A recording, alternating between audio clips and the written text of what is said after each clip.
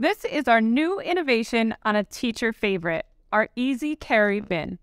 The reason we call it the Easy Carry Bin is that we have added these handy handles on each end, which makes it easy for students to carry around the classroom.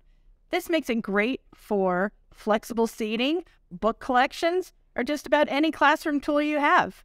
It's great for holding picture books, as well as our favorite feature, it holds folders vertically as well as horizontally. This is going to be a must have for any classroom. It comes in sets of six in a lot of great colors rainbow, blue, black, and our new BOCO line.